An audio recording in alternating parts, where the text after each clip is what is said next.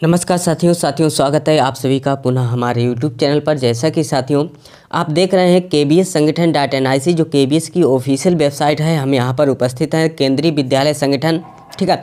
और इस साइड में आपका लगा है जी ट्वेंटी का है डिजिटल इंडिया और स्वच्छ भारत का इधर लोगो लगा हुआ है। तो जहाँ पर आप फार्म भर रहे हैं फार्म फिल करने की जो सबसे ऊपर क्लिक हेयर पर आपको क्लिक करना होता है। लेकिन आज हम आपके लिए बहुत ही महत्वपूर्ण न्यूज़ आपको बता रहे हैं कि के ने क्या किया है? इस बार पैटर्न जब चेंज किया है तो उसमें कुछ बदलाव किया है। पहले एग्ज़ाम आपका 150 अंकों का होता था। इस बार एग्ज़ाम क्या होगा? 180 अंकों का होगा। उसके बाद आपका क्या होगा? इंटरव्यू होगा 60 अंकों का। तो वहीं पे साथियों आप यहाँ पर देख सकते हैं केंद्रीय विद्यालय संगठन द्वारा आज एक चीज़ अनाउंसमेंट किया गया है। मॉक टेस्ट का लिंक आज क्या किया, गया है?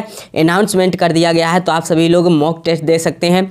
आप लोग मॉक टेस्ट दे देंगे तो आप लोग देखेंगे किस तरह के एग्ज़ाम इस बार अपना जब पैटर्न रखा तो किस तरह से क्वेश्चन के लेवल को रखेंगे।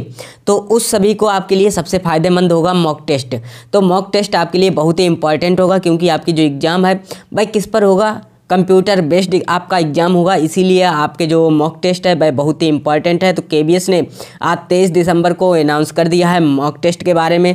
ऐसा हमको इसलिए पता चला क्योंकि अभी मैंने कुछ दिन पहले क्वालिफिकेशन डिटेल्स को लेकर या कुछ अन्य जानकारी मैंने ईमेल किया था के को और मैंने उनसे पूछा था।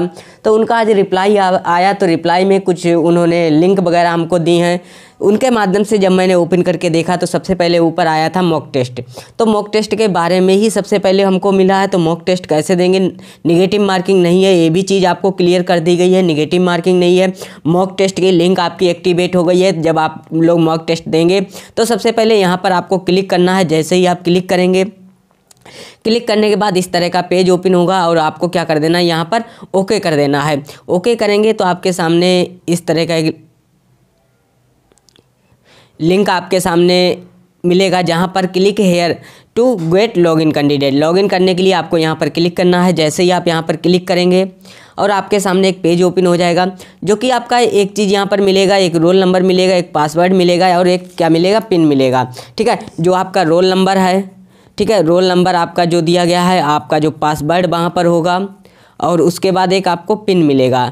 इनका जो प्रयोग है, जो मॉक टेस्ट हम लोग देंगे तो वहाँ पर स्टार्ट एग्ज़ाम करेंगे, तब इनका प्रयोग होगा। सबसे पहले आपको जो रोल नंबर दिया गया है, वह आपको फिल करना है। ठीक है? सबसे पहले आपको अपना रोल नंबर फिल करना है। जब आप लोग रोल नंबर फिल कर लेंगे तो रोल नंबर फिल करने के बाद आप क्या करेंगे, यहाँ पर जो पासवर्ड आपको दिया गया है, वह आप क्या करेंगे, यहाँ पर फिल कर लेंगे। और उसके बाद जो आपको पिन दिया गया है, वह पिन आपको यहाँ पर क्लिक करना है। ठीक है? ये तीनों चीज़ें आप यहाँ पर फिल करेंगे। फिल करने के बाद आप क्या करेंगे? सीधे आप लोग यहाँ पर क्या करें? लॉगिन आपको नीचे यहाँ पर कॉपीराइट के आसपास यहाँ पर लॉगिन मिलेगा। इसको डेस्कटॉप मोड पर भी लगा सकते हैं। ठीक है?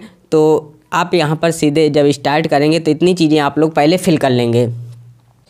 जब आप फिल कर लेंगे, फिल करने के बाद आपको एक लॉगिन दूसरा आपका रीसेट तो आप रीसेट भी कर सकते हैं लॉगिन भी कर सकते हैं। तो हमको लॉगिन करना है तो आपको लॉगिन सबसे पहले कर देना है।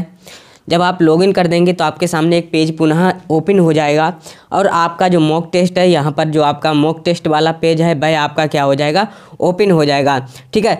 तो आप यहाँ पर देख सकते हैं कैंडिडेट का नाम आ जाएगा और यहाँ पर आप लैंग्वेज यहाँ पर सेलेक्ट कर सकते हैं। ठीक है? तो यहाँ पर आप लैंग्वेज है या रिज्यूम एग्ज़ाम है, जो भी आप कर सकते हैं। और इसको आप लोग क्या करिए डेस्कटॉप साइड पर ही लगाइए। जब आप लगाएँगे तो आपके सामने एक नया यहाँ पर मॉक टेस्ट वाला ऑप्शन अभी आया है। और शीघ्र ही आपका जो मॉक टेस्ट है, वह कैसे आप करेंगे रिज्यूम एग्ज़ाम करेंगे तो आपके सामने यह स्टार्ट हो जाएगा। ठीक है तो मॉक टेस्ट का जो एग्ज़ाम का पेपर है, आपके इस तरह से चलेगा। ऊपर आपका क्वेश्चन प्लेट ही आपको मिलेगा, जो आपने क्वेश्चन किया, वह सब मिलेगा। यहाँ पर कैंडिडेट नेम और इस तरह का आपका ओपन होगा। ठीक है, जो भी पार्ट आपको सेलेक्ट करना है, उस पार्ट को आप क्या कर सकते हैं कंटिन्यू कर सकते हैं। ठीक है तो आप यहाँ पर सीधे देख सकते हैं। तो इस तरह आपका जो मॉक टेस्ट है वह आपको देना है। जो भी आपका आंसर हो कैंडिडेट का, भाई आंसर आप लोग यहाँ पर दे सकते हैं, ठीक है? जो भी क्वेश्चन आपको सेलेक्ट करना है या फिर आगे बढ़ना है तो आप लोग इसमें क्या कर सकते हैं, आगे भी बढ़ सकते हैं। तो इस तरह जिसका भी जो भी आंसर आपका सही हो, उसको आप लोग दे सकते हैं और पूरा पूरा जो मॉक टेस्ट है कि भांति ही आपका चलेगा। ठीक है? तो इसका ऐसा नहीं आप लोग लैपटॉप हो तभी दे सकते हैं, आप लोग मोबाइल से भी दे सकते हैं। हम आपको टोटली यहाँ पर दिखा रहे हैं कैसे मोबाइल के थ्रू पर आपको करना है।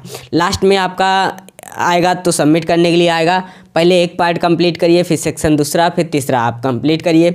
उसके बाद ही आप क्या करिए, यहाँ पर फिनिश करेंगे, ठीक है? तो फिनिश करने के बाद जब यहाँ पर लास्ट पर आप पहुँचेंगे तो नेक्स्ट कर देंगे। तो इसके अगले सवाल यहाँ पर आपको मिल जाएँगे, ठीक है? ऐसे ही यहाँ पर जो जो आपको ऑप्शन मिल जाएँगे तो भाई आपको यहाँ पर मिलते चले जाएँगे, ठीक है? तो मॉक टेस्ट आपको कैसे देना, ये नई अपडेट आज आई है तो मैं आपको बता रहा हूँ। इसीलिए आप सभी लोग मॉक टेस्ट अवश्य दें। तो साथियों, आज के लिए इतना ही। यदि कोई अन्य वीडियो आपकी के की तरफ़ से आती है तो हम आपको ज़रूर अपडेट देंगे। तो साथियों, आज की वीडियो में इतना ही। तो आपको मॉक टेस्ट कैसे देना है आपको पता लग गया है। तो ऐसे ही आप सभी लोग अपना मॉक टेस्ट दीजिए और पेपर का लेवल देखेंगे और आगे बढ़ेंगे, ठीक है? तो इस तरह आपको तैयारी करनी है। जो तैयारी करने है, एक आपको सिलेबस है, एक क्राइटेरिया आपको पता लग जाएगा कि पेपर का लेवल क्या होगा, ठीक है? तो यदि आपको यह वीडियो पसंद आए, अधिक से अधिक शेयर कीजिए लाइक कीजिए और चैनल को सब्सक्राइब कीजिए। Thanks for watching